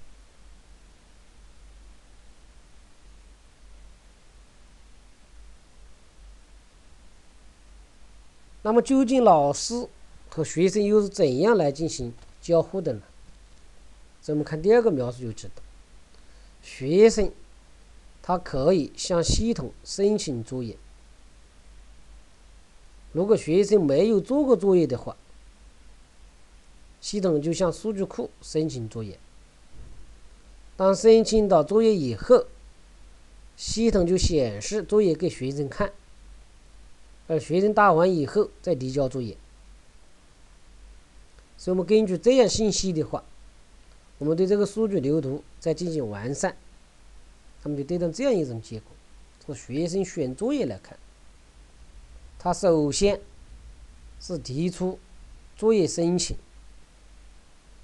作业申请到哪去申请呢？到数据库里面去申请，就看学生做过这个作业没有。如果没有做过的话，就给出他需要完成的作业。所以它的输出是需要完整的作业，然后再学生做作业，就给了学生了。学生做完了以后再提交，嗯，是这样一种情况。那么第三种描述，它是可以自动判卷的，就是学生在提交了作业以后，系统能够自动批阅试卷，批阅了试卷以后，还能够向学生。显示成绩，并且将成绩记录存在做作业成绩统计文件当中。这还有一个文件，叫做作业成绩统计文件，这里面要把成绩记录在这里。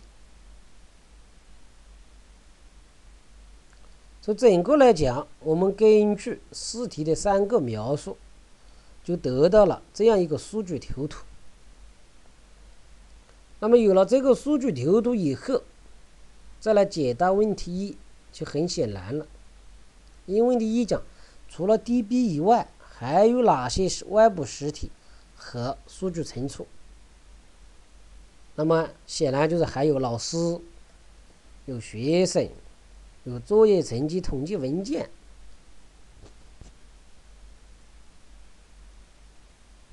所以这是问题一。问题二：根据说明，结合问题一的解答，指出，在该系统的顶层数据流图中应该有哪些数据流，请采用说明中的词汇，给出这些数据流的起点、终点以及数据流的名称。让我们来填这个空。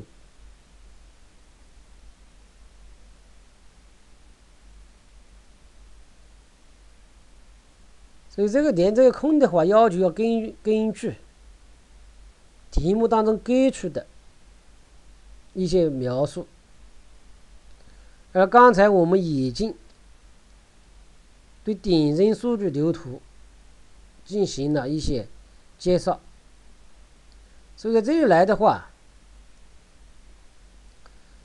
我们可以这样看：终点是网上作业提交与管理系统。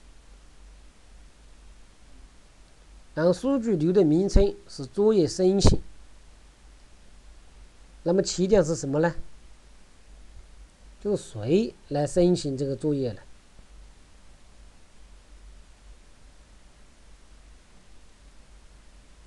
那当然是学生，是不是？是学生来提交作业，那是来来申请作业，作业申请嘛。然后是谁提交的作业？当然是学生向这个系统提交作业。然后这个是需要完成的作业，需要完成的作业，根据我们刚才这种情况，它有两种：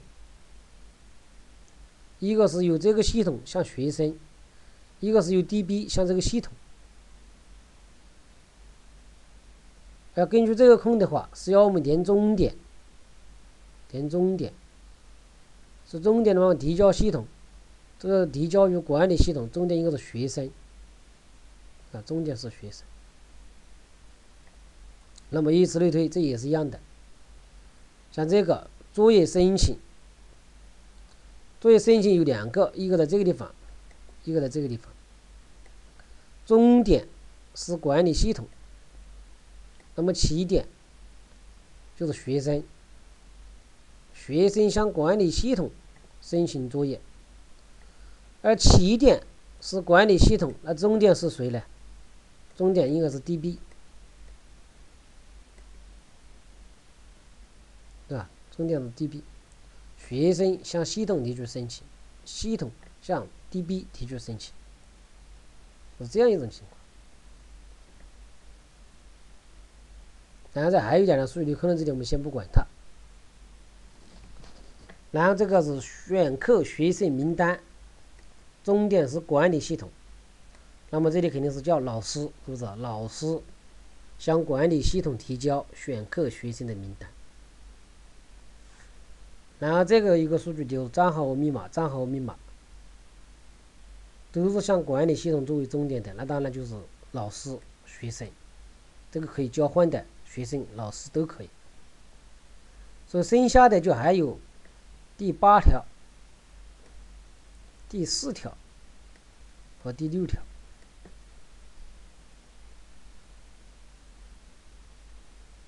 所以根据前面的我们所画的这个图，我们就可以找出来还有哪一些没有，是不是？我们这里总共有多少条？一条、两条、三条、四条、五条、六条、七条、八条，总共是八条。所以这里是十条。这里还有哪一些呢？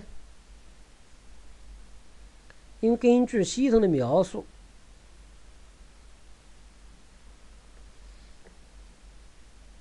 任课老师用账号和密码登录系统，账号和密码已经有了。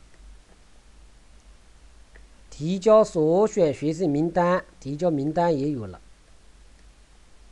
系统自动为每个选课学生创建登录系统的账号和密码，这个没有吧？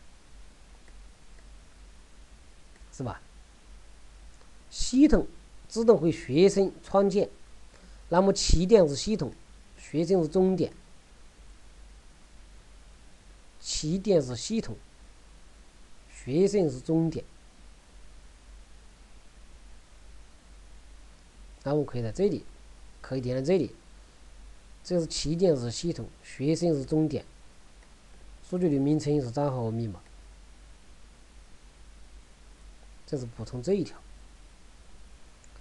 反正就是一个一个的从式的描述来进行对应。然后学生使用账号和密码登录系统，这已经有了。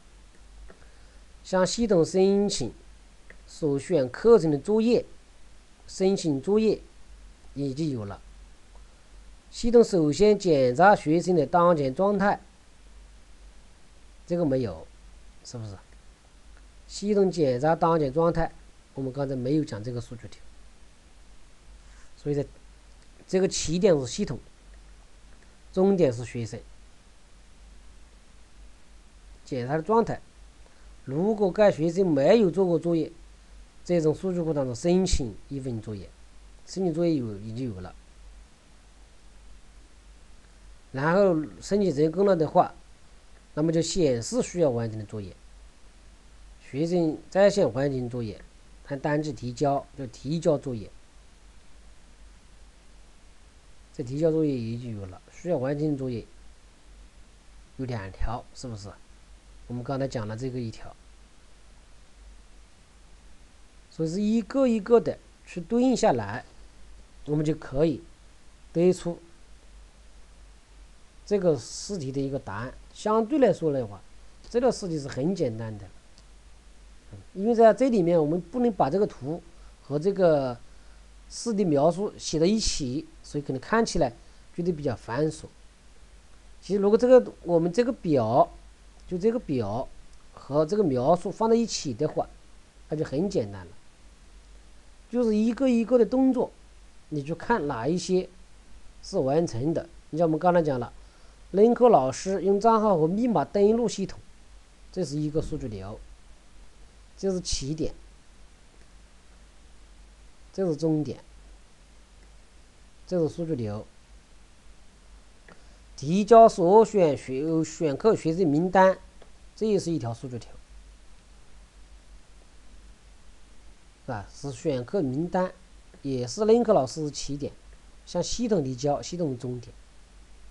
然后系统自动为每个学生创建登录系统的账号和密码，这是一个数据条。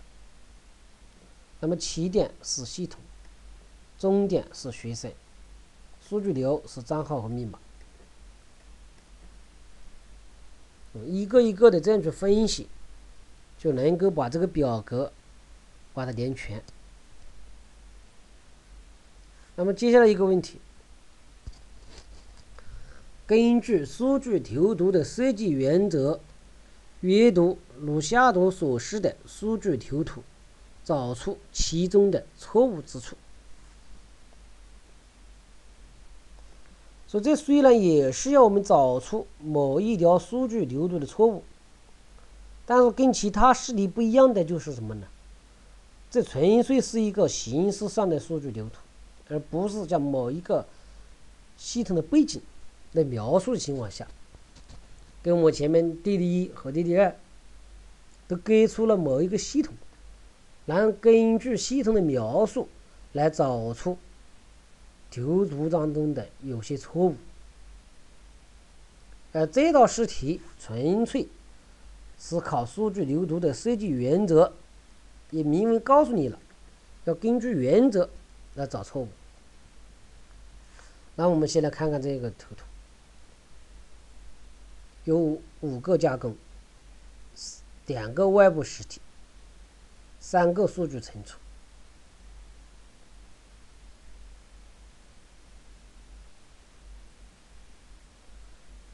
那么这里有哪些错误呢？事实上，这个题目当中有五个错误，但从我们阅卷的情况来看，很少有学生、有考生。能够把这个问题解答完整的，基本上能够指出一到两条，但能把五条全部指出来的很少。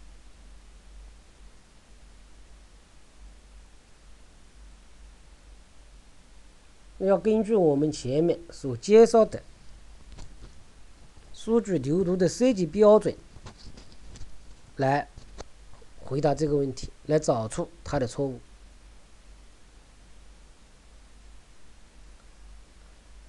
根据我们前面讲的数据守恒的原则，实体与实体之间是不能有数据流的。而在这个图形当中，实体 A 和实体 B 之间它有数据流，所以这是不对的。这里不能有这个数据流。我们讲数据流必须得与加工有关。我们一定要记住了，数据流必须与加工有关，也就是说，实体与实体之间是不能有数据流的，存储与存储之间也不能有数据流，实体与存储之间也不能有数据流的。这个我们前面在讲原则的时候就已经讲了这个问题。所以讲这个这个数据流是不存在的，这个数据流也是不存在的，也是不应该的。实体与数据存储不能有数据流。那么还有其他的什么问题呢？因为只有一张数据条图，所以就不存在平衡原则了，那就附图与指读的平衡原则在这里用不上。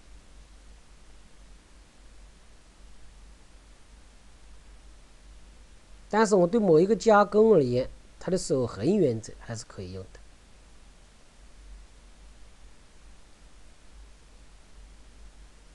你看，我们加工二，对加工二而言，它输进去的是热，输出来的还是热，这就违反了一个守恒的原则。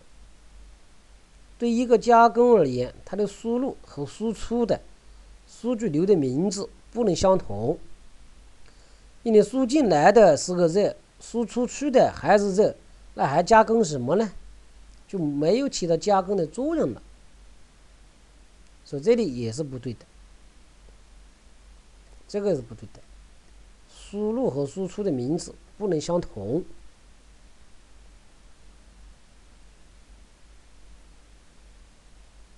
然后我们再看加工式，加工式有两个输入，一个是 G，一个是 P，但是它只吃不出，只有面粉没有面条，所以这也是不对的。根据数据守恒的原则。任何一个加工，它必须得有输入、有输出，有输入、有输出。而这个加工式，它只有输入，没有输出。所以我们假设是这个 P 是错误的，应该要换个方向就对了。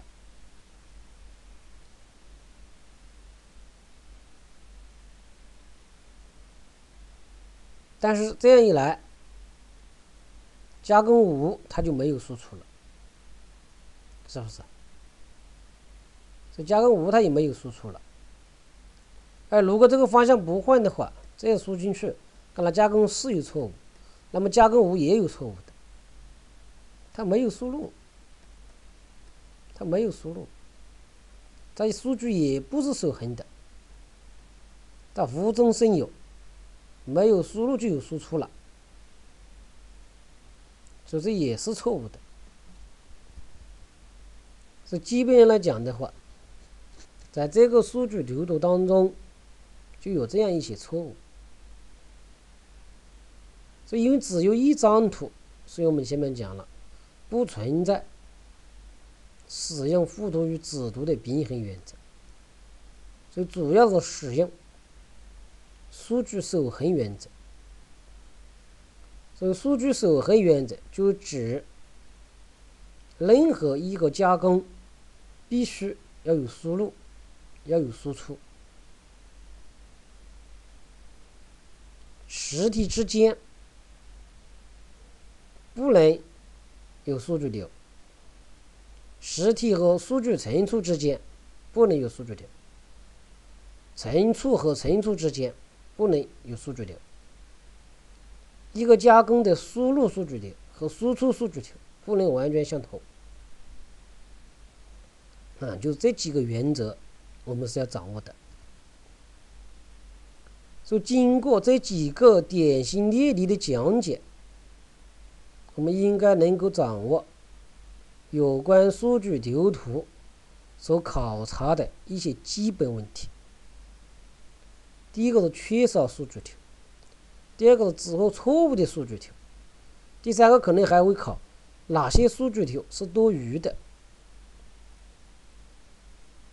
啊，像这样一些问题。都是根据两个基本原则，一个是附图和子图的平衡原则，一个是根据加工的数据守恒原则。另外所考察的一类问题，就是问哪个加工需要访问哪些文件，所以这就需要根据加工的输入信息来进行确定的。那输入信息没有确定，你怎么知道访问哪些文件呢？是要追踪到它输出了什么？它输出的是面粉，那么它输入的是小麦或者大麦。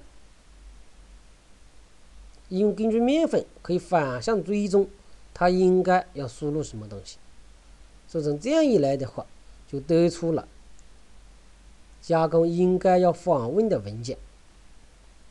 当然，访问包括读和写，读就是输入，写就是输出。另外一个问题就是数据字典进行完善，完善数据字典的描述，主要考察的是数据字典我们前面所给出的那几种符号的表示的含义，以及根据式的描述找出。某一个条目所应该包含的信息，所以这相对来说是比较简单的一个问题。所以掌握了这些基本原则以后，其实每次考试情况来看，都是万变不离其宗，都是考的同样的东西。所以我们首先就讲了这个问题：数据流图设计试题，没有掌握原则，就很难搞清楚。很难做得对。一旦掌握了这些基本原则，数据流图试题就是送分的试题，我们一定不能把它丢掉。那么，我们这一讲就到此结束。